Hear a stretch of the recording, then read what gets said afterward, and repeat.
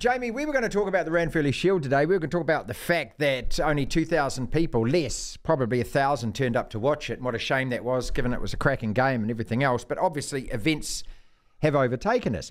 You are one of the few that's been able to connect and call the Hawke's Bay CEO who now has his phone off. So that's the best way to respond to this, isn't it? To do the ostrich and pretend nothing's going on. So let's break it down to start with. What, oh, and no pun intended. What do we make of the fact, first and foremost, that the shield broke? Oh, I mean, it's it's disgraceful, really, that this has happened, and it's it's not even the first time this has happened in the last No, of course few not. years. You know, No. we had we had the Crusaders doing it um, the other year with a trophy that had deep, deep meaning uh, to the people that had had made it for different for different reasons, but still was like not a great look. It was used as a bottle and opener, is what it was, right? Exactly. Yeah, yeah. And and now this now this has happened. And look, man, I I'm still playing club rugby. I know what happens after games, and I think if you Jamie, we any all do. We're all any adults, mate. Come on. Exactly, exactly. We're all adults, and also I'm very much a believer that accidents happen. And if you're going to ha- take a piece of wood and drop it on a on a concrete floor, and that's what they've said has happened. And I, you're right. I did talk to Jay Campbell, Hawke's Bay Rugby CEO, last night, and he did. He had a pretty compelling case that I because I I thought about it. You know, I saw that that press release at first and thought, oh come on, guys, like what really happened? But he said to me, well, you know, the only way it could really end up in the in the state that it's in as if it got dropped on its point. And I sort of came to agree with him. I think the context that was missing out of that is that uh, all those guys had been on the piss for about 12 hours uh, in, in, in, in between when they won it and when it got broken.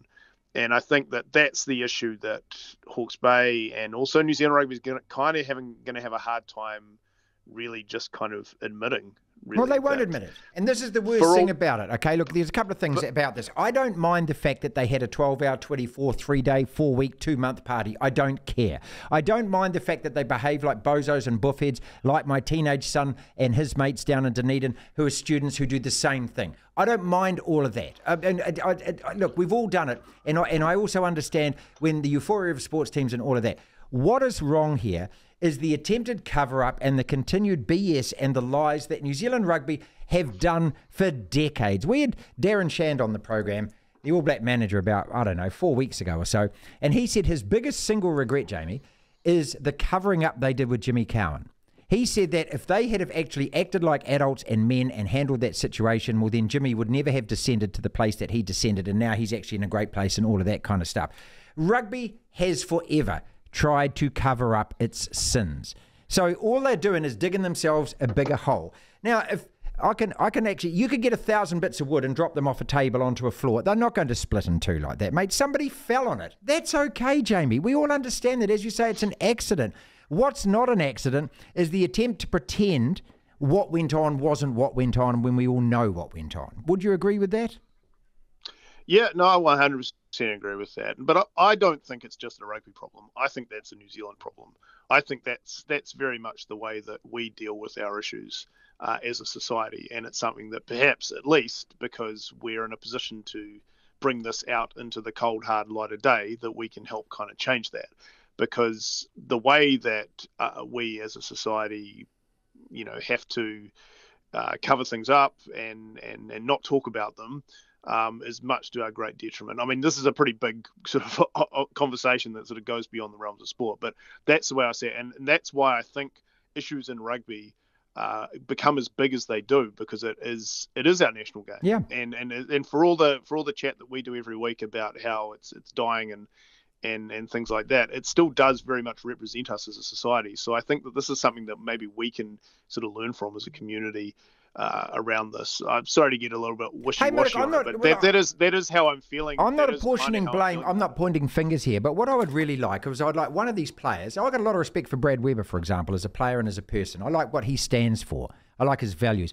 I would like somebody like him just to put his hand up in front up and say, listen, we apologise for the damage done to that thing. Yeah, we had a bit of a party and we acted a bit the fool and all of that. And everyone would forgive that and they'd laugh about it. But now, of course, because somebody in that state decided that they would either manufacture a photo where they've spread white powder over a table in lines on the shield, which looks as though somebody's been snorting drugs. And it looks, I'm not saying it's happened, it's an allegation, of course, and think that that's funny to put on social media. So there's one or two things. They're either snorting drugs off the thing or they are manufacturing a photo to make it look as though they are and they're putting it on social media. Either way, Jamie, how much brain has gone into that, for example?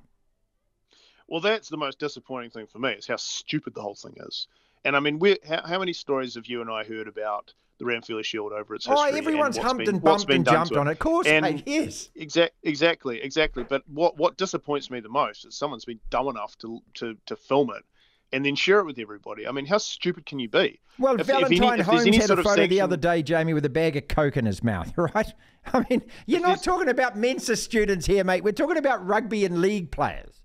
Exactly, exactly. And I think that if there's it should be any ramifications that come out of this, it should be put just for those guys just for simply being as dumb uh, as they are here. Uh, in terms of uh, a public apology, I think one's coming because you know it, it, it did this all did happen yesterday, and um, I, I'm sure that you know the Hawke's Bay have the reason why Jay's probably gone to ground on this is because he's just waiting for some legal advice because it is now a matter that could potentially involve the police uh, and uh, you know that's not a good that's not a good sign at all. Um, I mean, if nothing else, it should be involving drug-free sport in New Zealand because I, I feel like they should probably be cruising around to um, each of these guys' houses, and drug testing them today.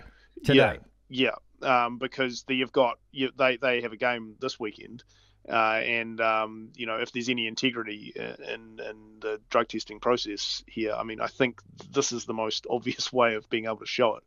Uh, but I mean, back to your original point, the thing you said at the very start, though, and I mean, this is what I I've taken out of all this because we can talk about how grubby this whole thing is, and and and and and lines and and and broken, you know, drunken idiots and and things like that. I mean, like that's just rugby culture.